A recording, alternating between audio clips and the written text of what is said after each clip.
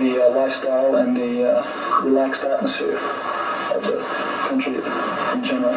The, the people are interesting. They are a bit slow. I mean, well, not so phlegmatic. I like it a little because I don't got so many friends now. I just moved in a few weeks ago.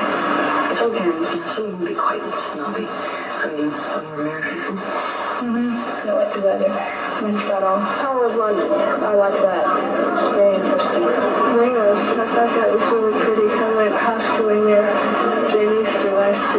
Year. And I, I really like that. The mountains and everything.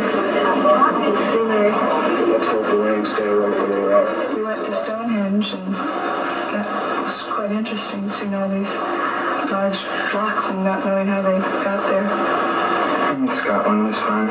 It's special to me because I haven't seen anything more pretty in my life.